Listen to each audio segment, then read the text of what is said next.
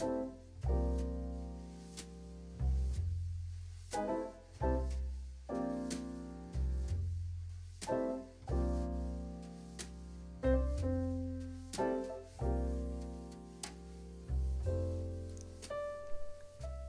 everyone, thank you so much for being here today.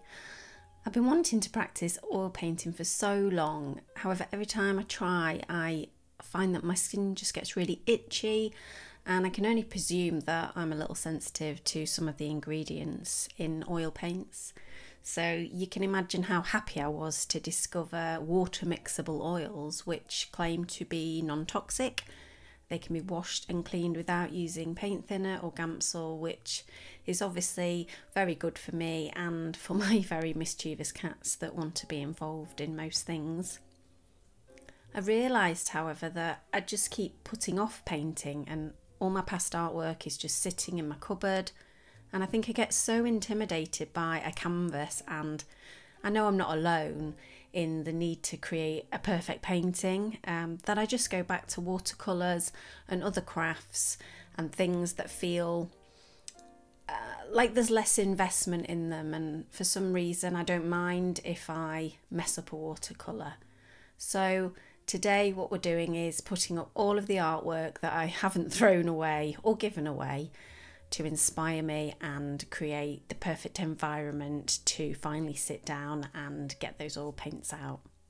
Whilst I was hunting through my cupboard of canvases, I actually found a copy of Starry Night by Van Gogh, which I painted probably about two years ago, and thought it was probably time to measure this and get a frame for it. I, I painted this for my mother, and I don't know why I've been putting off giving it to her. There's there's really no excuse. Um, it has been dry for a very long time, so I decided to take some measurements and go online and purchase a uh, a floating frame. So today I'm going to be painting in a sketchbook, and I'm very excited because I would never have thought to use a sketchbook for oil painting. But I've seen quite a few people use sketchbooks, um, simply covering it in fluid acrylic um, creates the perfect um, background for the oils to adhere to and um, I, I ordered some of these sponges mine are obviously covered in cat hair like everything in my life um, and a clipboard and got everything ready for today's painting I've been loving this book by James Gurney regarding colour and light, and he is so clever in terms of how he approaches his lighting and his colour schemes. So, before we get into setting out our palette and creating some beautiful colour mixing with our palette knife, it's time to make a cup of tea and then we shall finally begin.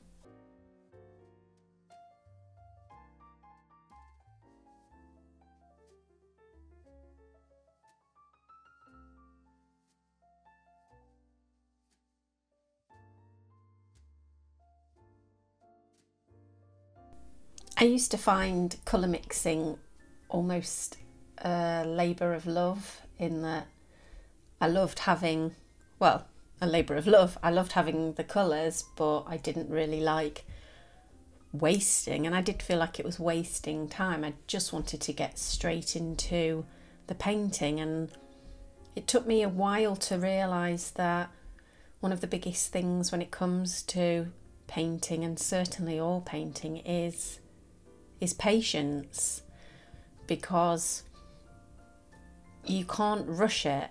And when I mean rush it, you can't, you can still paint a painting quite quickly, but you can't kind of go from the palette to the brush to the canvas without thinking ahead of what you're going to do because you don't get like other mediums the opportunity to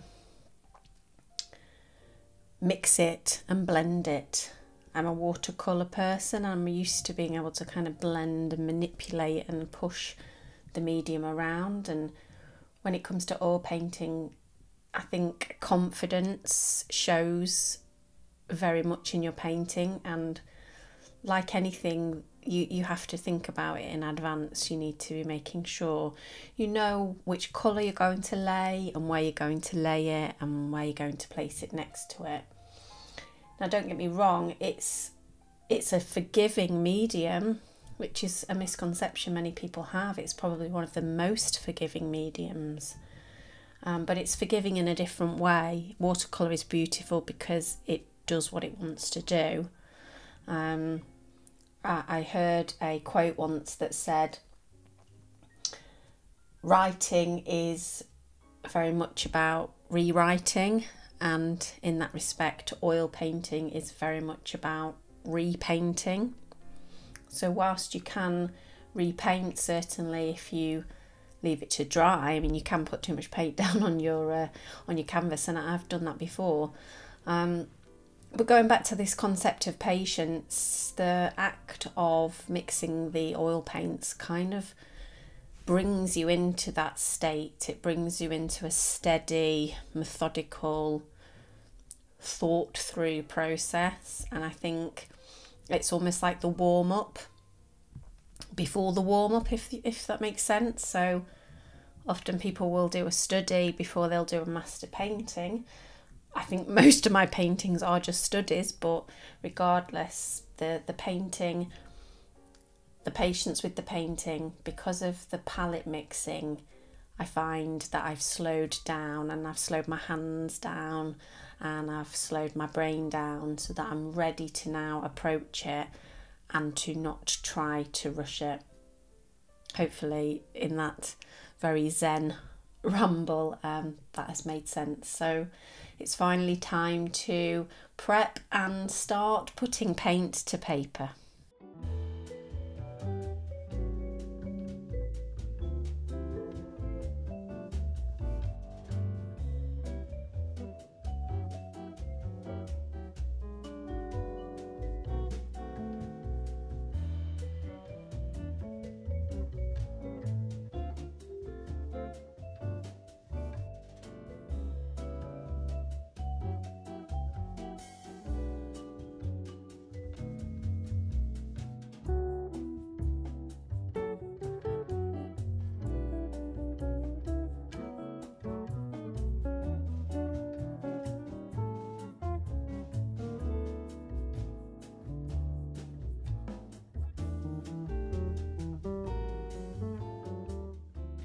Around here is where I really started to feel like I was enjoying the process and I knew that nerves were going to be there whilst the canvas was white and I know for many people they do tone their canvas but I started to feel that as soon as I'd at least laid a layer of paint down that I could see where the painting was going and what always happens with me is I put quite a lot of paint down on the first pass that I probably only have a minute or two before I need to let it dry.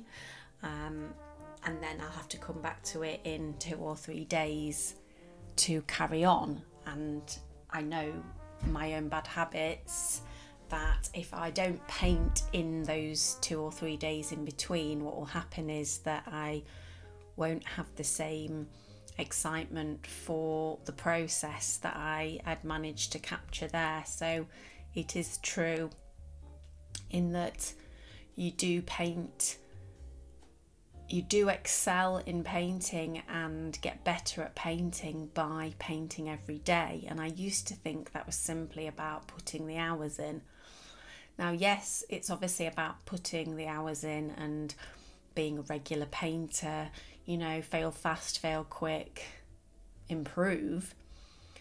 But it's also about keeping that momentum going and that muscle memory and that process so that in three days' time, when I return to this painting, I've probably done two or three in between, and actually, it will have given me time to maybe work out my techniques of where this painting is going to go in the second layer. So, in doing these vlogs, it's been um, very formula driven for me in that it's allowed me to analyze how I paint and hopefully to see if there's other people out there that face the same challenges that I do with painting or feel and think the same way. Certainly, if you're into different mediums, um, I'd love to hear if people have struggled to transition from one medium to another, not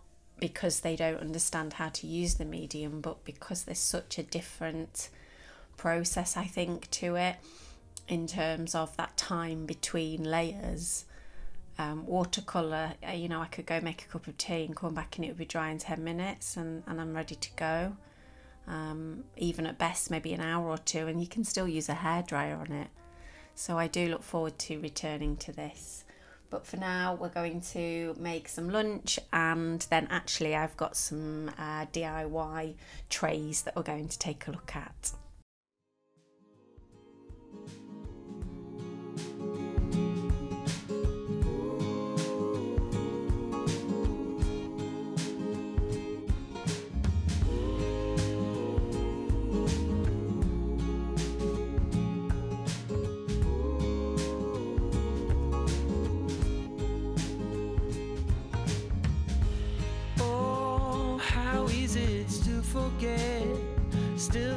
About how we met. Yeah, I'm with you now. Oh, one thing that it's plain to see. The best thing in this life's for free. And that's so true now. And there I was with my world falling apart. Hoping just to get by.